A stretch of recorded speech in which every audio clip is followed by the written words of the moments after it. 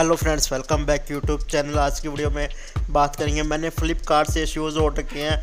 काफ़ी दिनों से जो है, वैसे नॉर्मल प्रोडक्ट की अनबॉक्सिंग हो रही थी, लेकिन फ़ैशन के रिलेटेड कोई जो है वीडियो नहीं आ रही थी तो काफ़ी जो भी मतलब कोई डील अच्छी मिल ही नहीं रही थी तो ये मुझे काफ़ी अच्छे डील में मुझे ये मिले हैं। तो मैंने इसको परचेज़ किया है। बेसिकली इसका फुल रिव्यू करूँगा मैं। तो कैसे ये शूज़ है, मैं आपको दिखाऊँगा। तो देखें बॉक जो पैकिंग है, वो काफ़ी अच्छी है।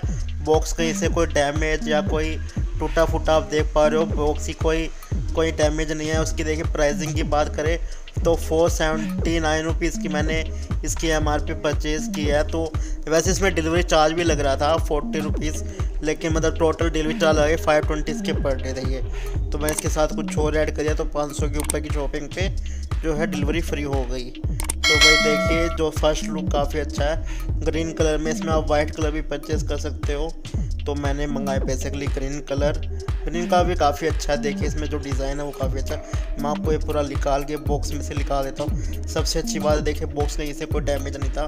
तो भाई देखिए, जो इसकी फ़र्स्ट लुक है, ये कुछ इस तरह है। जो ये डिज़ाइन आप देख रहे हो वाइट और ग्रीन का कॉम्बिनेशन जो डिज़ाइन है, ये मतलब उतरेगा नहीं। पूरा प्रिंटेड है। काफ़ी अच्छा डिज़ाइन दिया गया ये देखिए साइड से एक तरफ़ से बिल्कुल प्लेन है, पूरे में जो है सिलाई की गई है मतलब जो स्टेचेस होती हैं उससे इसको पैक किया गया। तो आप अंदर प्राइस देख सकते हो एम आर पी प्राइस लिखा गया है नौ सौ निन्यानवे रुपये तो भाई साहब तो मुझे इसमें आप देख सकते हो कम से कम पाँच सौ छः सौ रुपये जो है डिस्काउंट मिल गया। पूरा जो है आर्ट फील है, देखिए पूरा ये जो है ना, पूरा हार्ड है। और इसकी अगर लेंथ की बात करें ना थोड़ा मतलब ऊँचा शूज़ है ये। बेसिकली गर्ल्स के लिए मैं आपको ये भी बता दूँ। मैंने सॉरी वीडियो में नहीं बताया लास्ट स्टार्टिंग में। तो ये बता दूँ बेसिकली गर्ल्स के लिए एक इंच तकरीबन ऊँचा है ये। तो इसको पहनने से आप थोड़ा ऊँचा भी फील करोगे, काफ़ी कंफर्टेबल भी रहोगे। ये देखिए फ्रेंड्स फिनिशिंग मुझे इसकी जो है काफ़ी ज़्यादा अच्छी लगी है। और साइडों में अगर मैं निकाल के दिखाता हूँ, नहीं, ये अंदर फिक्स है। नहीं तो बेसिकली जो इसके अंदर का पट्टा होता है ना, वो पूरा निकलाता है। लेकिन ये ना इन्होंने पूरा फिक्स कर रखा अंदर से। चिपका रखा है।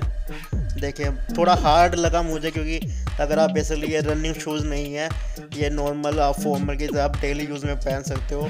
यहाँ पे देखिए, पूरा चिपका रखा है मतलब ऐसे नहीं कि सिलाई वगैरह कहीं दे रखे हो तो पूरा ये देखिए, नीचे से पूरा चिपका रखा है। यहाँ पे अगर आप मैं इसको हल्का सा दबाता हूँ तो आप हल्का हल्का यहाँ पे आप जो है गोन से पेस्टिंग आप दे सकते हो।